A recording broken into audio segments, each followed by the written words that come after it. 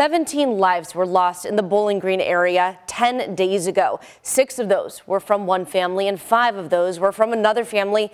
Those families lived on the same street. And tonight, the Bowling Green community came together for a candlelight vigil to remember those 17 lives. We let our lights shine tonight, may they serve as a beacon of hope in our community, as well as an important step in our community's healing process.